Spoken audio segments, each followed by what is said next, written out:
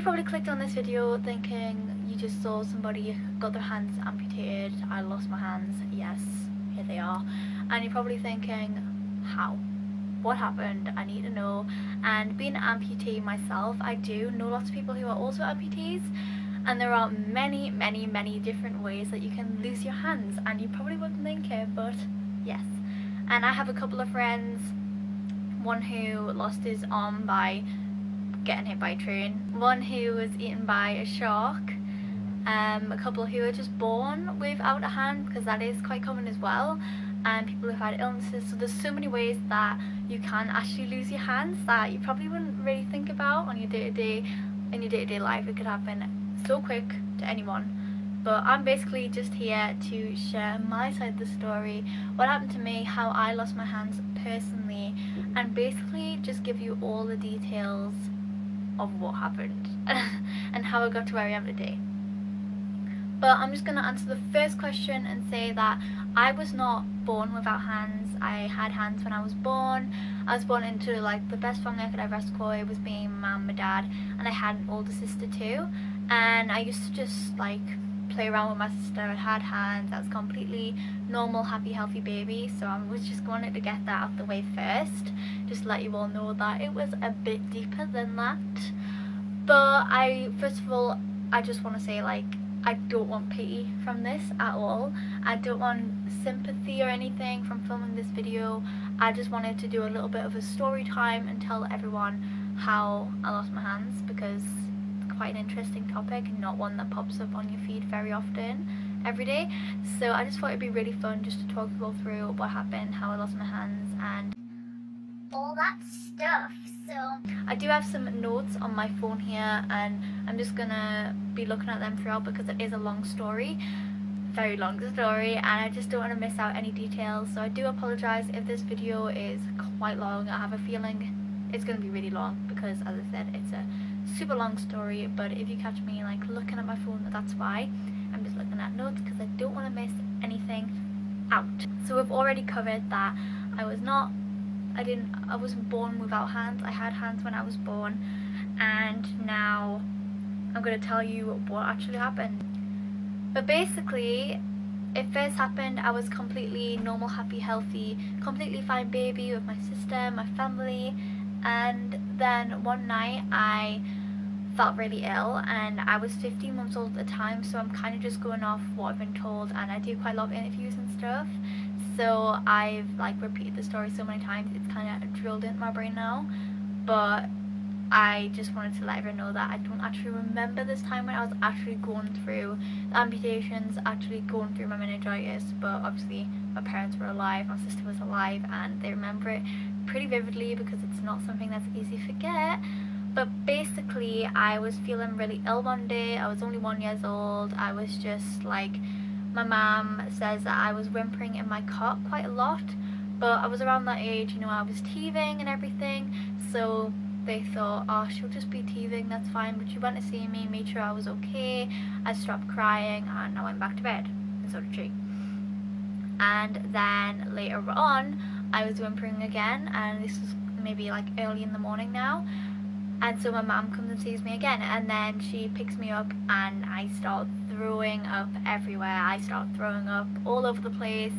So then she realizes okay she's a little bit sick. So she takes me into bed with them gets me cleaned up and yeah I go back to sleep. And then the next day my mom did take me to the doctors because I was still throwing up. I was just I didn't really have much emotion in me. I was basically just like sad. I wasn't interested in toys or anything like that. So my mom just to be on the safe side went to the doctors where they diagnosed me with an ear infection and they sent me home. Now my mom was a mother of two at this time and I have two more sisters so there's four of us. But since my mom had only have had two kids and neither of us had ever had an ear infection before so she didn't really like misdiagnose that it was an ear infection infection or anything like that. She didn't think of anything but they just said basically I would be bright as rain back to normal everything would be completely fine in just 48 hours but as I said, my mum was just kind of like, oh, okay, well, he's a doctor, he knows what he's doing, kind of thing. And so she just didn't question it, looked after me, gave us some Calpol, as you do, look after your kid. But it kept just getting worse and worse. And basically, my mum just had like a thought in the back of her brain where she was just like, are you sure this can just be an ear infection? Like, it seems a little bit more serious than an ear infection at this rate. But I was at my nana's house, and again, I was just sat on my granddad's knee, and I was just watching CBBC or Nick Jr. or something. I was only one, and I was just chilling. But they thought, I, I think they thought like, oh, I was fine because I was just watching the TV. I was just kind of staring at the TV, so I've just really focused on the TV. So like, that's normal. She was just watching the TV. But then I went, my nana, she's the one who spotted something really wrong on my body that really pointed everything out that there was something actually seriously wrong here and she took me in and changed my nappy basically and then she found these kind of purplish rash things um, my mum describes them as like when you get older like a really old person get those like those purplish spots like old age spots like the blood or whatever I'm not really sure what it was but that's basically what they described it as and that's what it looked like kind of them just all over my body and they were just really little to begin with and then they like started to expand started to get a bit bigger around more parts of my body we noticed them more and so my nana is usually kind of the person to like brush things under the rug like it'll be fine like she's caring and stuff but she's like if the doctor's diagnosed this then maybe it's just an allergic reaction or something but it's nothing crazy like I wasn't acting crazy. So but luckily she shouted for my mom and my mom came in and she, my nana was just like um Tilly's got these kind of rash things on her body. I don't know if you want to come check it out or what. So my mom came in the kitchen where I was with my nana and she had one look at these marks and she was just like oh my gosh. She like jumped to that conclusion. Light bulb moment just switch on. It wasn't a good light bulb moment though but she instantly knew what it was and then basically she called her sister down from upstairs come have a look too. She came running she was just like Helen come quick like this is serious. And basically Helen came down the stairs and it was me little tiny me baby me um, my nana and my mum and my auntie Helen, my mum's sister, and then basically they all just stopped and were like, this is bad type thing. You may be wondering what they were, what it meant, how did they recognize them, like my mum and her sister, but it was basically a couple of months before I got ill. Um, my mum and her sister were reading a magazine together, and basically in this magazine it was just like I don't really, I'm not really sure what kind of magazine it was, just life and stuff.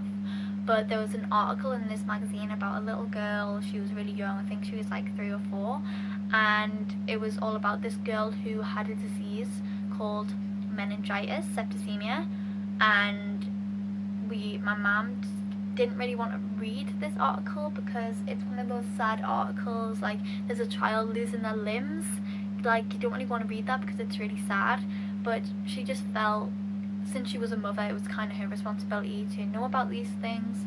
So she read it and thank god she did and basically this article was all about this mother's experience with meningitis septicemia how to watch out for it and that's what I had meningitis septicemia strain B and my mum instantly knew because in this article luckily they also included a picture of the septicemia rash so as soon as my mum saw that image, but in reality on her own child, she instantly was like, it's meningitis. So she got on the phone, she ran to the phone, she was like, 999, I need a hospital quick, my daughter's got meningitis, please, please, please come. And they were like, okay, we're on the way. They were like trying to ask her questions like, well, is it this, is it this, just to make sure they didn't send an ambulance for someone that was completely fine. Um, but obviously it was pretty serious. But mum was like, yeah, you can ask me questions on the way, you can ask me questions when we get to the hospital, like when the ambulance is here, just tell me that it's coming and I'll answer anything you need to know. So they were like, okay, okay, okay, this is really serious. So they jumped in the ambulance and they came rushing straight to us. And my mum just picked me up, like shoved some shoes on, probably not properly because she was just wanted to get me there as quick as possible and she literally just picked me up and she sprinted with me down the street just even just at least to the end of the street she just wanted to get me to the hospital and in the ambulance as quick as possible because she'd read about this disease and knows that it's a life or death situation which I completely believe that everything happens for a reason.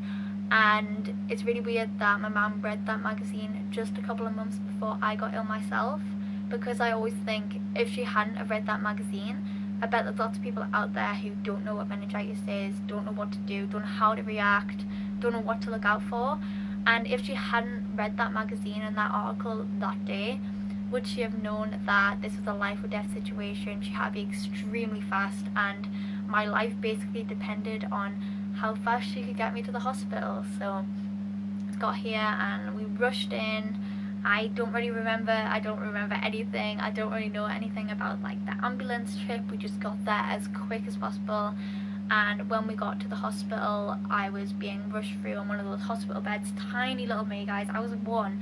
And I was two weeks early as well as a baby. So I've always been quite small and I still am 4 foot 11 and I'm 14 years old. So you know. But they basically had me on this hospital bed and they were sprinting me through the hospital trying to get me to like the surgery room operation room I'm not really sure what it was the serious place A&E that's what it's called A&E they were running to get me to A&E really quick and then I got there and, my mum just tells me there were just like maybe even 10 doctors all looking over me trying to help like stabbing me with all sorts of needles trying to sort things out. I'm not e really even sure but I was just sat there and she just remembers thinking like me as tiny as I was being worked on with all these like all these doctors who were all doing different things to my body trying to keep me alive it was absolutely insane and something you as a parent should never have to go through. I always feel for my mom because of this. So mom was just like, as soon as like one of the doctors got out, she was like, is she gonna be okay? Is she gonna be okay? Like, what's gonna happen? Is she alright? Type thing. Um, and they just said, we're not sure. She's in a really, really bad case. They said like, she's really young. It's probably, she's probably gonna die. And they didn't even say probably. Then they gave her a percentage and they were just like yeah she's gonna die 100% she's gonna die. And my mom just started throwing up everywhere. My mom just dropped to the floor like crying throwing up just completely overwhelmed and honestly who can blame it it was absolutely horrible and crazy situation to ever be in and I hope nobody else has to be in that situation ever but yeah, my mum was just thrown up everywhere. My dad was at work, he'd left work, he was running now like to get to the hospital to see us. And I had my older sister as well at this time, she's called Tia, and she was basically all this time I was in hospital having to stay with my nana and my granddad my grandparents' house and so my parents had to like juggle between being with me in the hospital and looking after my sister obviously also because we're only two years difference between us so she was only three so she needed all the attention as well and yeah it was a pretty hectic time. But my dad was really kind of the rock in all of this so my dad he was obviously worried sick as well he's amazing I love my dad but he was the one kind of like he knew me even when I was one years old like I wasn't the type to let go easily. I don't know how they knew that when I was born, but as soon as I, I guess I just came out the womb and I was like, I'm ready to fight, you know? So people, my dad was just like, she'll be okay, babe, she'll be okay. Like, to my mom, it's fine, it's fine, she'll she'll get through, of course, she she's Tilly type thing. So he was a really, really important, played a really extremely important role in the family at this time. And basically, I was in hospital for weeks for weeks and weeks and weeks and they just told me I was going to die every day. My parents would ask is she getting better? You know will she be okay? Is she going to live? But they can never really get an answer because they were kind of just waiting to see how I would do. And it actually got to the point where they were about to shut my body down for the machines to keep me stable to try and recover something, at least like the tiniest thing we needed to do try anything basically and they actually asked my family if they wanted to come in and see me before they put me to sleep because they couldn't be certain I would wake up. So you can imagine hearing those words about your kid if you're a parent and you have a kid. You can imagine those words and how my mom was feeling at this time. I can only imagine.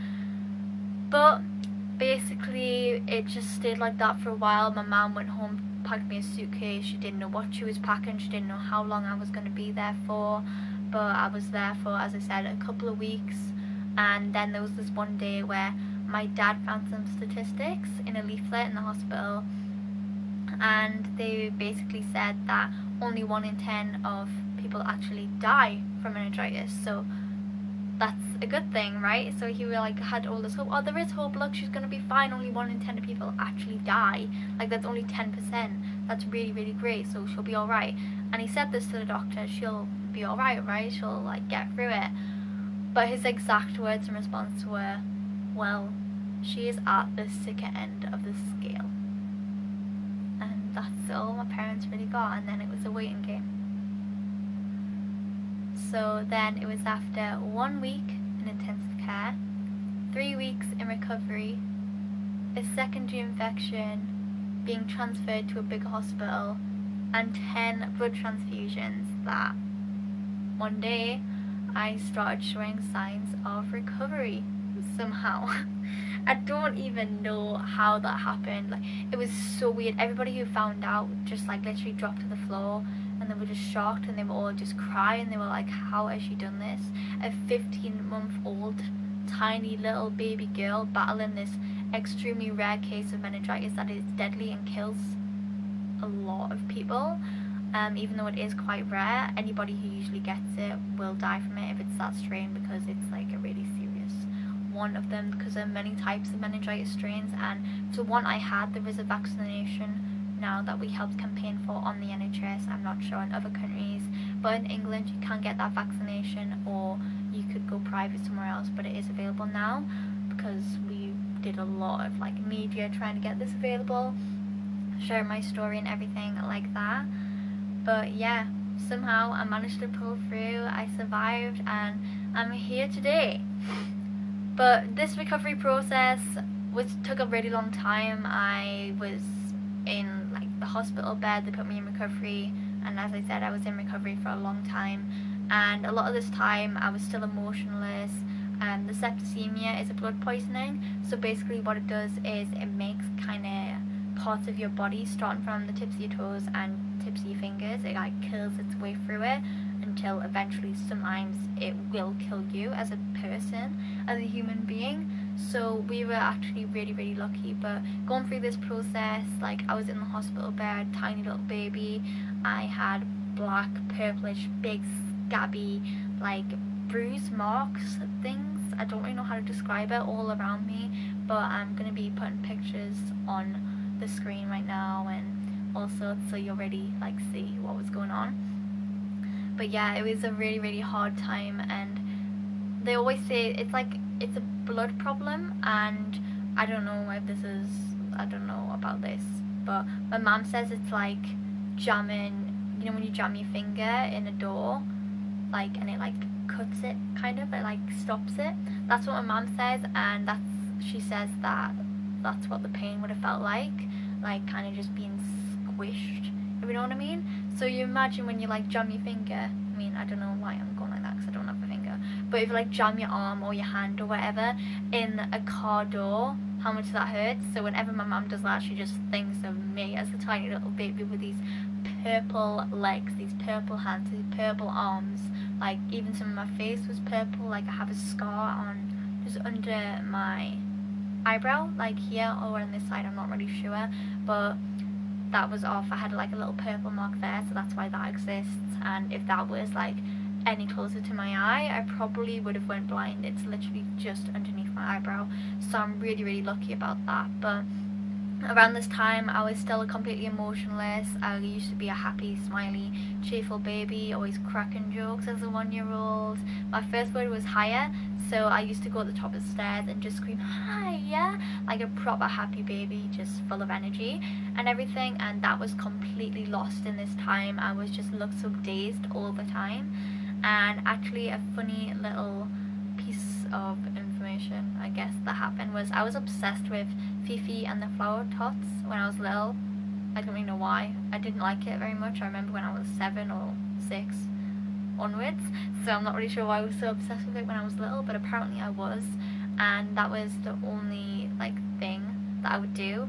I had I would just watch like Fifi and the Flower Tots over and over and over again. And even if I was fast asleep and my parents were like, okay, she's asleep, we can knock it off now. Like, because the same song was going on, they were like, oh. Uh, but they would just knock it off when I was asleep and I would literally wake up and be like, put Fifi back on, but in my mind, because I wasn't speaking or anything like that. Not yet. Fifi! Ah, Oh, yay! Fifi television. Cutscene. Fifi. Oh. And everybody knows.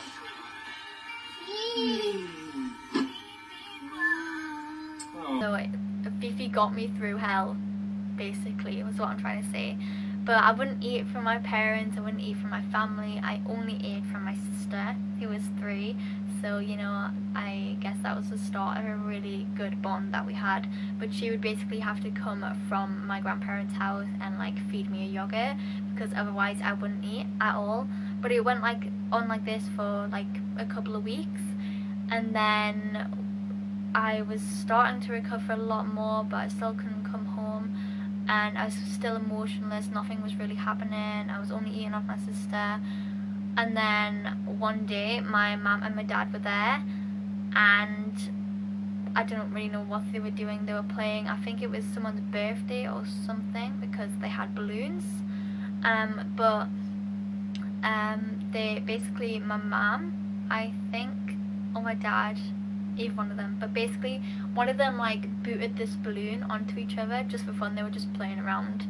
And me after going through all of that me as a tiny little baby going through hell like I just completely started belly laughing laughing for like the first time. And my mum and dad just looked at each other and then looked at me and they were just like keep doing it, keep doing it, keep slapping each other with the balloon. So they just kept slapping each other with this balloon and I was absolutely hysterical as a one year old and I was just absolutely creasing over my parents hitting each other basically. So that shows the type of person I am.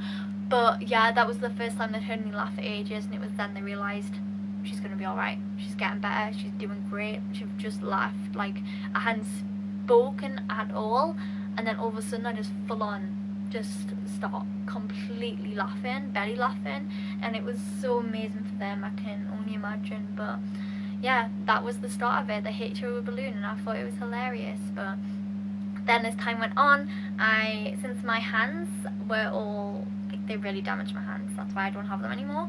But basically, when the septicemia, my hands were all like curled over, and my mum and my dad tell me that I wanted to do something. I was picking up a book or something but I just looked down at like my black scabbed over curled over hands and basically in my mind I guess I just thought they are useless to me now. So I picked something up using just my arms which is obviously how I do everything now. And that started the road and the journey of adaptation. But eventually I, I got like the green light the thumbs up that I could be discharged and I went home with my family. But every time I needed a bath or something they had to like take me to the hospital to get a bath. For some reason I'm not sure infections or whatever. But I went home first with my hands and like my real hands my human hands that was still attached to me. And then we had to go back for the amputation just because you want to get rid of it as quick as possible before it spreads even further. And most of the time people do lose legs like they lose full arms like up to here. So I was actually really really lucky. And my mum made me a promise before I went in to get my hands amputated where she basically said like I promise I'll give you your hands back once again. And that was because before that we'd had a conversation with the person who was going to do my amputations and he had asked us are we interested in prosthetics in the future. And it's not something my family had thought about. I was one so I couldn't make that decision. But he amputated in a way that would make it really easy for me to wear prosthetics in the future because it's easier just to like have it all gone rather than having like fingers or lumps or like half fingers or anything like that. So we just amputated in a really great way that would make it so I could wear prosthetics should I want to in the future. And I'm really grateful for that because if you've seen my YouTube channel or you've just seen me on TV or whatever I've been all over the place then you will know that I do wear bionic arms now made by Open Bionics and I love them. So I'm really grateful that I got to make that decision for myself and I feel like it's really important that we share our stories and let people know that that is an option should you want to take it. And now prosthetics are a lot better than they were like a decade ago as well I would know because at the time they weren't very good when I first got my hands amputated. So yeah. But basically I was able to go home and they amputated my, my hands and I was obviously it was really hard. I was trying to get used to how to do things without my hands. And I'm gonna play like some home footage now of me at Christmas when we were trying to like sort things out. Like I was trying to open presents with my no arms no hands and they were like all bandaged and everything at this time it was really really fresh but I'm just going to show you some videos of me trying to do things at this time when I was first trying to adapt so just to let you know like it was hard and it was not easy at first as you can see now And Eve. Eve. Sticky tape. In there? I got the sticky tape.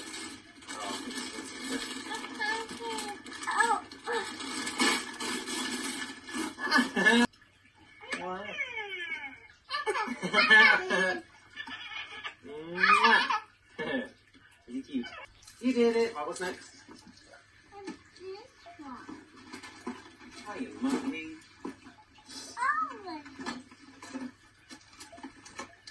Ooh, what's inside? Can I have words together? Can I open it? Some for Tia, some for two. You pull that bit. So you pull that bit. Eve! Sister did have to like, help me a lot. My family had to help me a lot through that time, and they did have to really push me. I'm a really independent person now, so I thank them for that.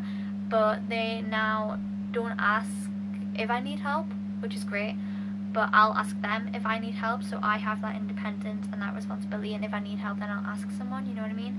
But I just try and do things myself because I've been brought up trying to do things by myself and I feel like when I first was had the meningitis when I was first getting amputations and all of this they were like okay well she'll never be able to walk she'll never be able to run she'll never be able to play the piano and so what did my family do they bought a piano they bought a piano so I could learn how to use it. Like I got piano lessons, there's videos of me online playing the piano. I had a piano teacher called Michael Mulroy, shout out to you dude. But he basically only had one leg and he made me kind of like wasn't aesthetically pleasing kind of prosthetic but it was practical, it was really practical and it was basically this rig that allowed me to play chords on the piano.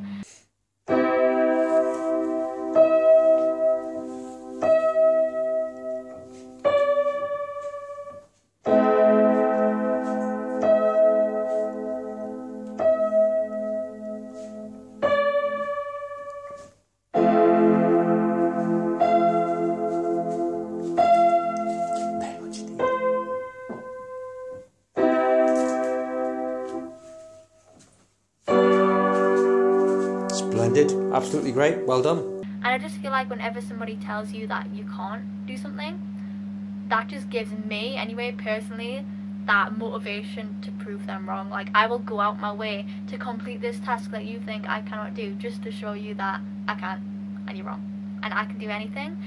So, yeah, that's basically my motto, my motivation throughout my life. You tell me I can't do something, I'll prove you wrong. Simple as that.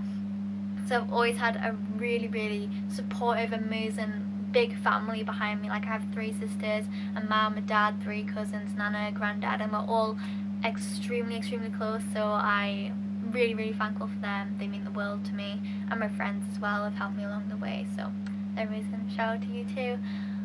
But yeah, basically that's my story. How I lost my hands. If you want to know more story story times about everything else in my life, like my journey with prosthetics from the very beginning to now, because let me tell you, they have changed a lot. But that's my story, how I lost my hands. I hope that wasn't too long and I didn't ramble too much. I didn't really look at my notes at all there. I just kind of went out and started talking. But whatever, it's more natural that way. But that is my story. That is how I lost my hands and I'm now 14 years old, traveling the world, being a motivational speaker, trying to give people confidence, an ambassador for an Open Bionics prosthetic company, and I get to wear their really awesome bionic arms all day, every day. And I have a YouTube channel and an Instagram account, so follow me on there. But it's just been, that's basically what happened to me. And if you asked me now if I would take that back, I wouldn't because it's made me, I feel like that day made me who I am today and my family made us the people we are today and linking back to how everything happens for a reason. I think this did happen for a reason and I believe I was put on this earth to try and help other people.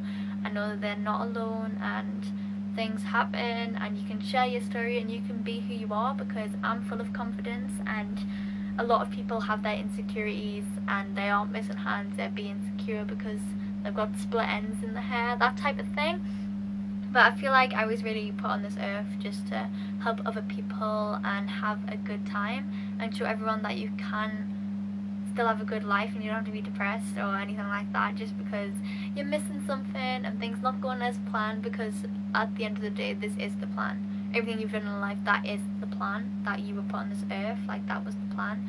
So just remind everyone you're doing great. That's how I lost my hands and that's how I got to where I am today thank you so much everybody for watching. As I said do um, leave some if you wanted me to do more story times tell me and let me know which ones you would like me to do because I'm full of stories. Honestly I could talk for England. I ramble so much so I apologize. But I hope you enjoyed this video. Leave a like if you did and subscribe and hit the notification bell if you want to hear more of me and see me more and keep up with my journey because I feel like this is just the start and I would love to have you join the family on here. So uh, thank you so much everyone for watching. Hope you enjoyed and I'll see you next time.